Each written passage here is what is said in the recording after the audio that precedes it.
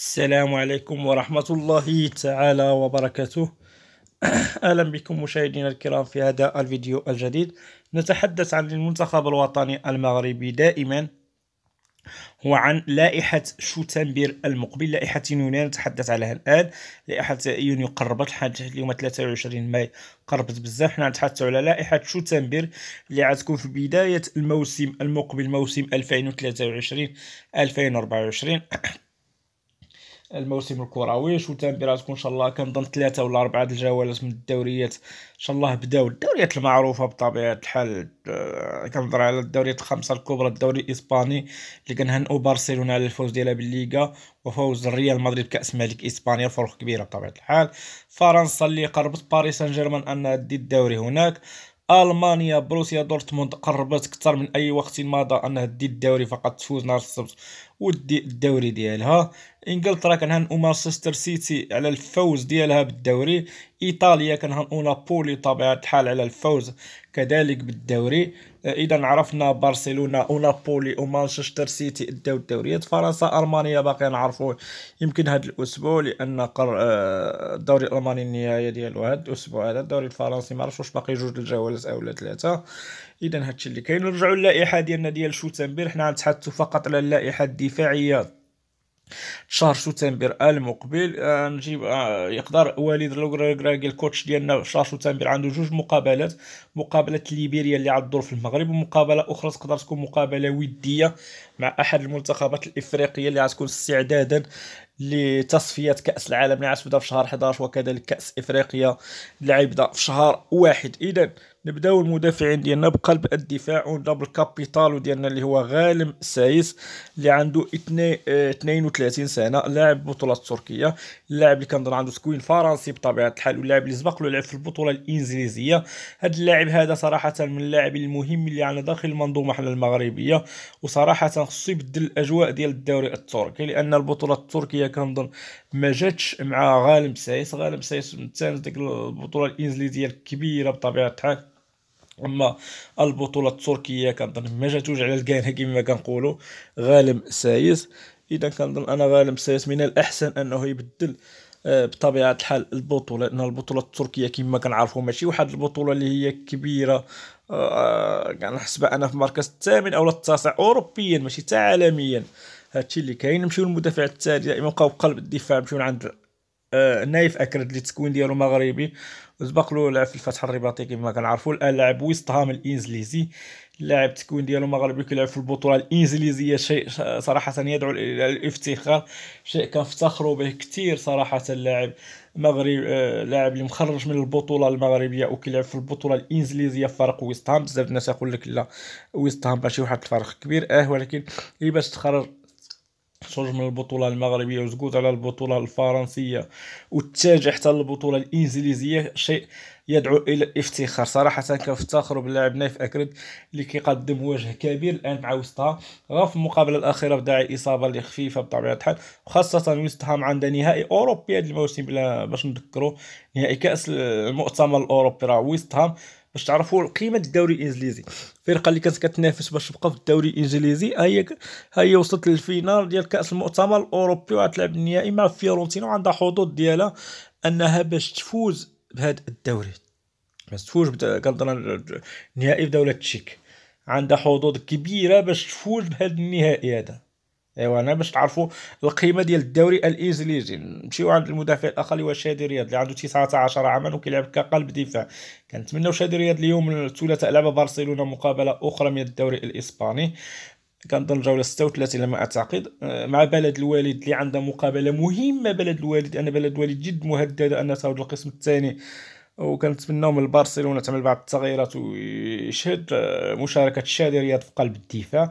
لأن برشلونة فازت بالليغا وما عندها علاش تلعب زعما كيما شفنا تشافي صراحة آه، أنه فاز بالليغا مع فريق الريال سوسيدا شرك اللاعبين كاملين. ولكن الريال سوسيدا استفادت انها دات ثلاثة نقاط من نيو كامب آه للأسف الشديد تشافي صراحة خصو يعطي الفرص للاعبين الشباب. لأن البرشلونة فازت بالليغا خصو يستعد للموسم المقبل ما غيكونش ساهل. هذا الموسم فاز بالبطولة من أصل ثلاثة البطولات كبار. ولكن الجمهور البارسا خصو ال Champions League لأن ال Champions League هي اللي مهمة وبقاو دائما في إسبانيا نمشي عند جواد اليميق اللي اليوم عندهم مقابلة كبيرة بلد الوليد قلنا ضد برشلونة اللي كنهضروا عليها.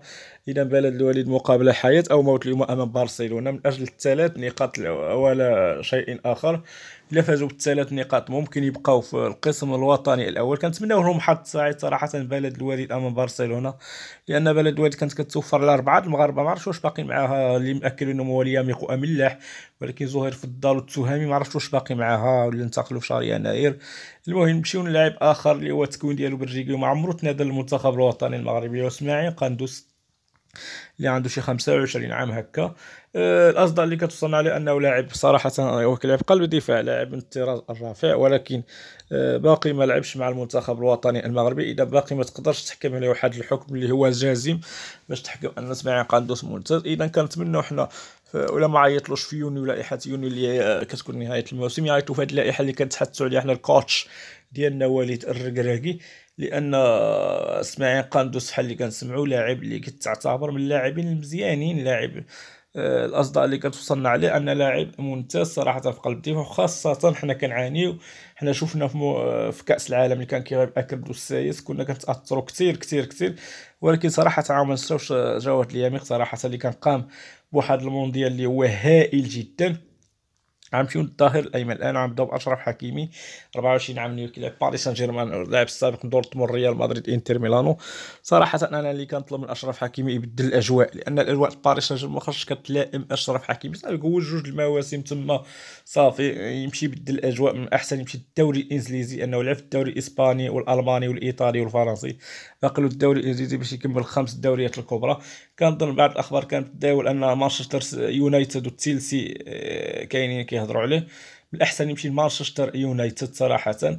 ويعمل مسيرة هناك مانشستر يونايتد فرقة كبيرة صراحة في العالم فرقة اللي عندها تاريخ كبير على باريس سان جيرمان نحن عارفين باريس سان جيرمان كنت اسس سنه 1970 ما عندهاش واحد التاريخ اللي هو كبير بزاف. إذا صراحة لا خرج أشرف حكيمي غيكون أكبر حاجة عملها مزيانه هذا الموسم هذا والنهاية الموسم ديالو أنها بطريقة جميلة أنه خرج من هذا باريس سان جيرمان لا يخرجوا من اللاعبين كثار هذا الموسم كما عارفين حنايا لاعبين كثار بطبيعة الحال يخرجوا على رأسهم ليونيل ميسي اللي آه، باقي له فقط يكمل هذا الموسم فقط باقي له جوج ثلاثة المقال الدوري الفرنسي وعيساني نمشيو للاعب آخر اللي هو ظهير ايمن كيف المنتخب كيعمل كظهير أيسر اللي هو الناصر المزراوي لاعب بايرن ميونخ الألماني اللي بدا كيلعب آه، المقابلات الأخيرة ديال بايرن ميونخ كأساسي بعد إصابة بزاف ديال المدافعين ديال بايرن ولكن بواحد النسبة مئويه كبيرة الفرقه ديال أشرف حكيمي القديمة اللي هي بروسيا دورتموند أنها قر أشرف حكيمي لعبها كنظن جوج مواسم. أه، كنظن قربت وبزاف بزاف بزاف انها دي الدوري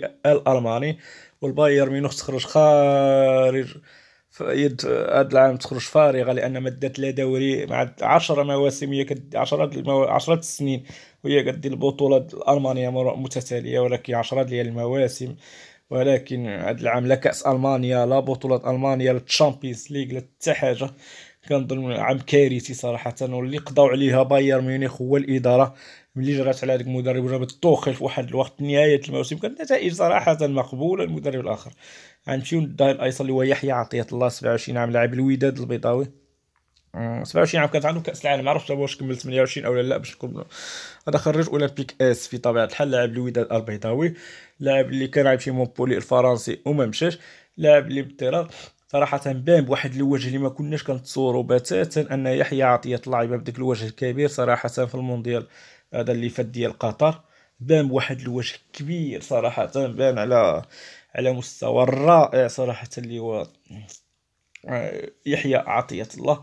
بان على مستوى كبير صراحة بان بمستوى كبير. وهناك آخر لاعب اللي عنده 18 سنة وعيط له الركراكي في اللائحة الأخيرة ديال الماتش اللي هو أيوب العمراوي لاعب نيس فرنسي تكوين فرنسي. آه للأسف آه في هذا الأخيرة فريق نيس ما بقاش كيعمل بتاتا. أيوب العمراوي اللوائح ديال لا التشكيلة الأساسية ولا الاحتياطية هذا مشكل كبير. خصو أيوب العمراوي يشوف هذا المشكل ويشوف علاش المدرب ما بقاش كينزلو واش ديك اللاعب اللي كنلعب في عاوتو واش رجع ولا هو لعب في شي مكان لاعب اخر كان موصل تعرف المهم خصو يشوف صراحة خصو الاساسيه لا تناقش باش يبقى دائما يتنادى عليه المنتخب واخا يقول لك بزاف الناس حكيم جياش ما كيلعب حتى شي وكينادي عليه المنتخب ولكن هذيك حاله استثنائيه ماشي تنعت حاله استثنائيه على الدور على كل شيء لا لا والف لا اذا هذه التشكيله المناسبه ديال المنتخب الوطني المغربي في خط الدفاع